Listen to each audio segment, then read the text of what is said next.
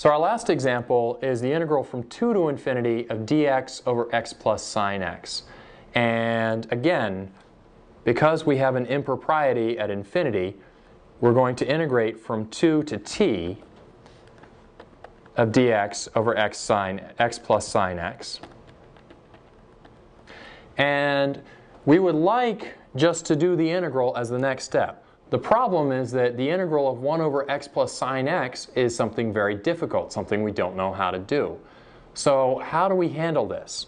Well, the way you want to think about this is to kind of ask yourself, what does 1 over x plus sine x look like? Now, I'm not asking for a detailed graph, but I'm asking you to think about what, um, how, how big 1 over x plus sine x can be? Well, x plus sine x, something I know here is that sine x is always between negative 1 and 1. So x plus sine x is always less than or equal to x plus 1. So 1 over x plus sine x, when you take 1 over something, it reverses the inequality.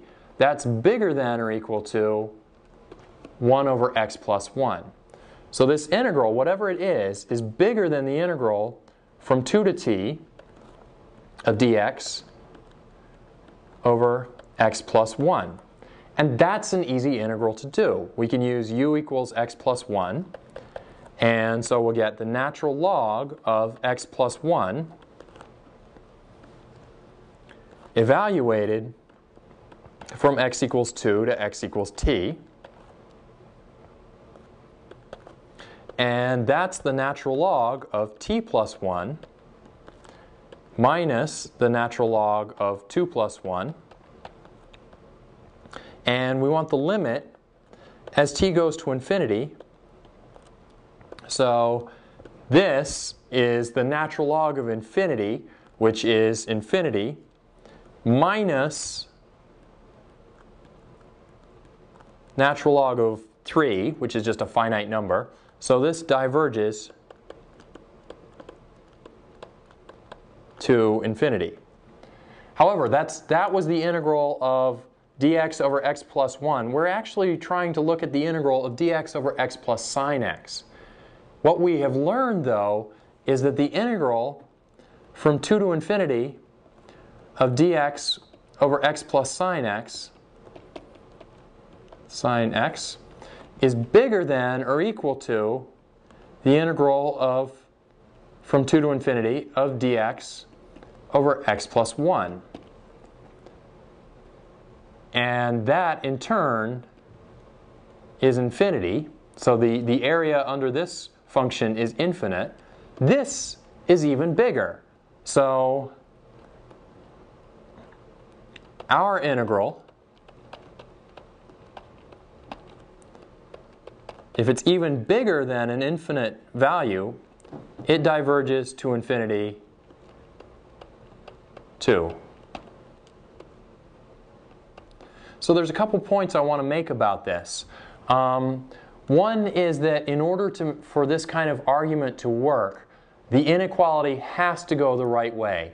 If this inequality had turned out to go the other way, if this had been a greater than or equal to, let me write this in red so that you can show that you, you can see that this is not the actual value. So what if that had been greater than or equal to?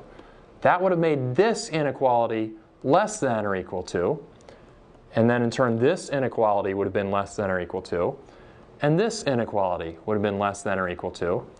Then we would have had something less than or equal to an infinite area and that's not something that we can say is finite or infinite. If something is less than infinity, well, it might be finite, but it could still be infinite.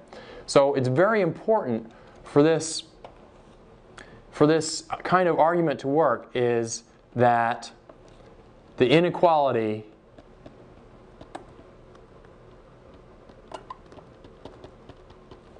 must go the correct way.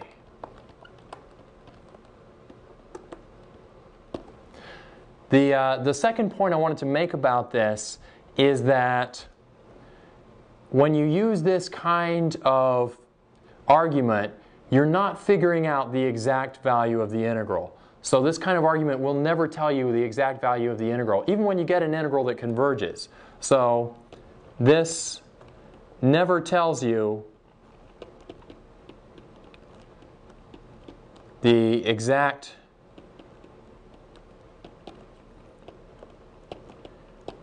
value of the integral.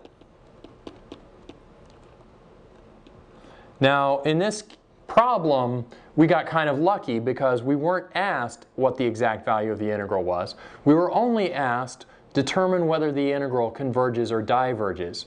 So in that sense, that's sometimes a tip-off that you want to use this kind of comparison idea. Um, if the problem doesn't ask you what the exact value is, if it just asks you whether it converges or diverges, that's a little bit of a hint that you might want to use this idea of comparison.